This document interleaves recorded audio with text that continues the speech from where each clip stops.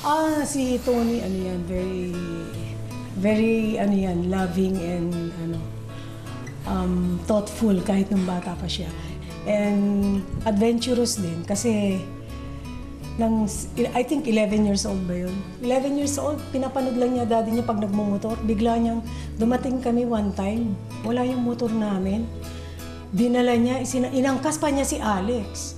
So sobrang nahimatay na Parang ako nahimatay na, nalugmok ako sa garahe. She's very independent. At pag meron siyang gustong gawin, ay very determined. And ang uh, difference na siya dalaga at saka na siya mami na.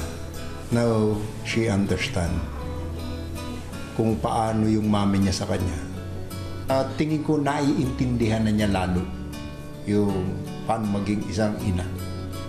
Tin, happy birthday. May have many, many more birthdays to come.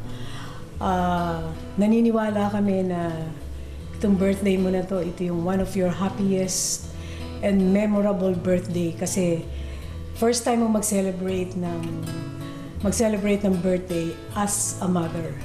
First time, di ba? And another milestone in your life. At thank you for bringing Sevi in our life our very adorable and cute Sevi.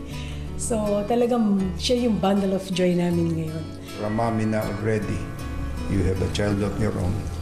I, you raise Sebi and your children to be, to come. Uh, based on the Bible, kasi nakasulat naman yun doon, how you will raise your child. Siyempre, happy birthday. We love you. We love you. Grabe. Thank you. Thank you. Hi mga momshies! Subscribe to ABS-CBN Entertainment YouTube channel. Para maging updated kayo sa magandang buhay, For more videos, just click the I button.